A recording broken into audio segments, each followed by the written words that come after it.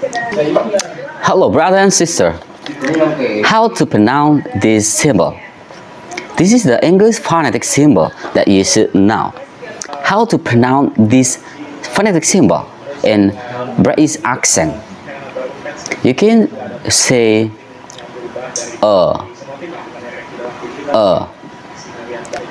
I give some words that you can practice to improve your English pronunciation to be better and cooler. Get the first word. How to pronounce this word? Nurse.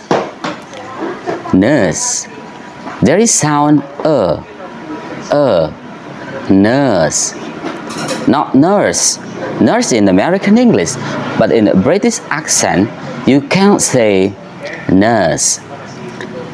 Nurse. Okay, the next word. How pronounce this word? There is sound uh, uh, heard, heard.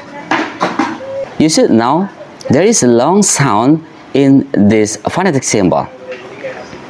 Uh, heard, heard.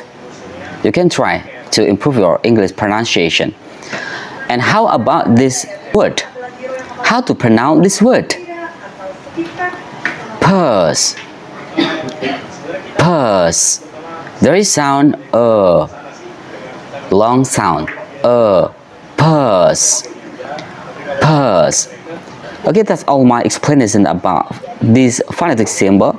You should try to practice to always improve your English skill to be better and cooler.